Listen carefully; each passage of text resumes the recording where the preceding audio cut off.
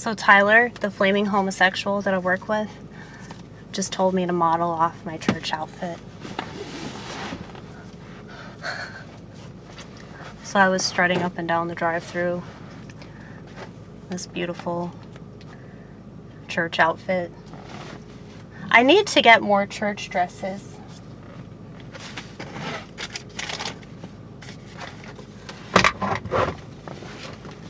It's really important that you uh, attempt to look nice every once in a while.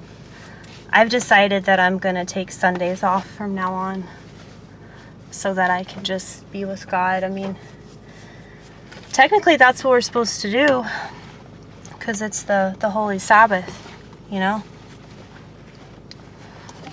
So, I really should like take the time off,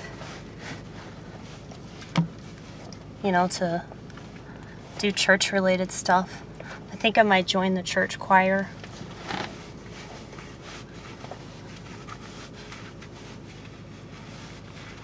Because I'm pretty serious about it.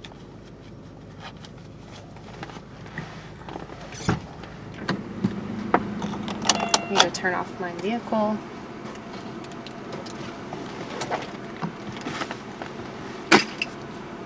But, uh,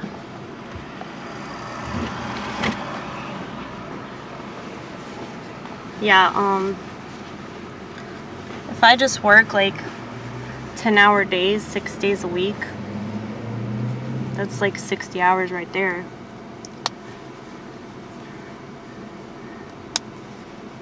And there are certain days that if I come in even earlier than that or I stay later than that, you know, I could pick up more hours. But I think it'd be good if I'm working that much that I just take one day off and it makes sense that that day would be Sunday. Wouldn't you say? Wouldn't you say, Vortex?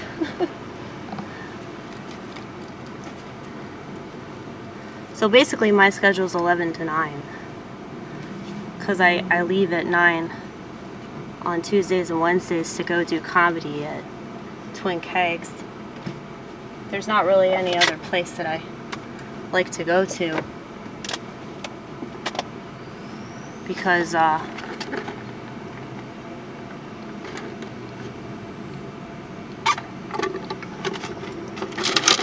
it's just lame now. like all these places that have been closed this whole time are like, oh, we're doing comedy now. You have to have your you have to have your card that proves that you're a government guinea pig, but we're so cool because we're doing comedy now. It's like, God. I can't wait for all these places to go out of business. anyway, I hope that happens really hope that happens. I need to find my socks. Okay, have my socks. See? Little duckies. Why don't I ever wear match socks? I'm so glad you asked Vortex. Um, because wearing match socks is bad luck. I don't remember where I heard that or read that, but I sort of ran with it and it just kind of goes along with my personality anyway.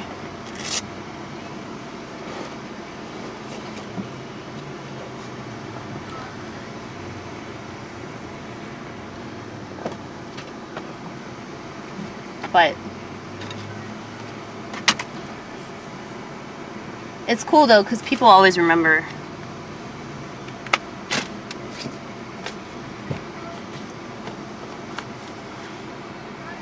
very authentic, very difficult to forget.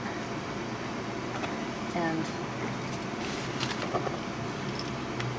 you can distinguish me from a lot of other people that aren't very interesting.